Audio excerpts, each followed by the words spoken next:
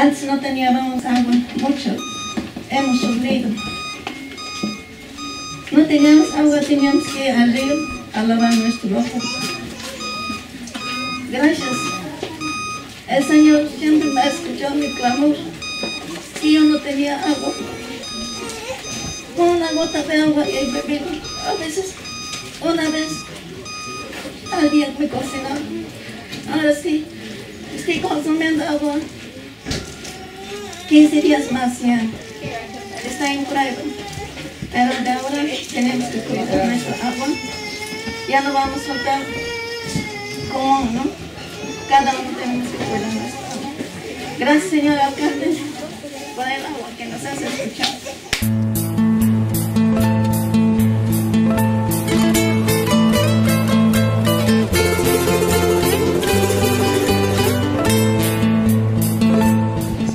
Que el agua es vital, tiene muchísima importancia, el agua es salud y no podemos de repente estar pues con los módulos y sin tener agua.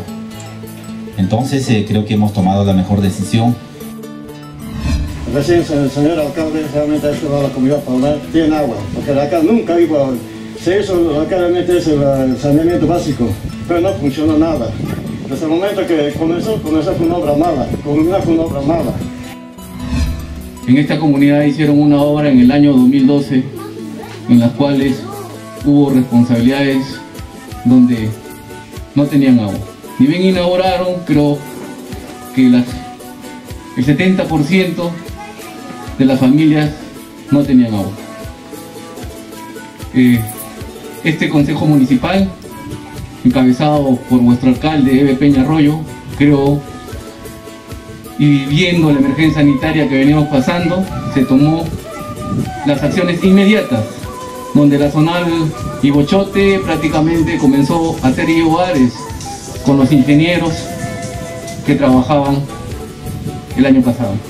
Y es así que tan solo no, se ha hecho este IOAR de Palomani, se ha entregado el IOAR de Manguriar y Margen Izquierda, se ha entregado el IOAR de Zonaquichato, hemos hecho el IOAR de Tintiniquiato, también venien, eh, venimos haciendo con la institución a través de la gerencia de infraestructura mediante las cuatro zonales que tiene la municipalidad, venimos haciendo IOARES. Mi persona recorrió los sistemas el, año pasado, en el 2020, en plena pandemia, donde priorizamos proyectos de inversión a nivel de IOAR para dar la funcionalidad a los alimentos básicos. Justamente he recorrido los sistemas y he encontrado reservorios obsoletos, captaciones inoperativas, tuberías colapsadas, pases aéreos inconclusos, purgas de aire incompletos, ¿no? Purgas de agua. Eh, inicialmente nosotros contamos con dos sistemas grandes, ¿no? Ya un sistema de porvenir y el sistema del TIOB.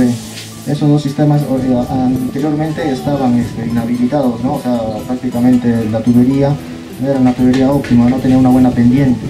¿no? Ahora en el expediente técnico nos mandan a, este, refaccionar pues, ¿no? y reponer todo lo que es en esas tuberías.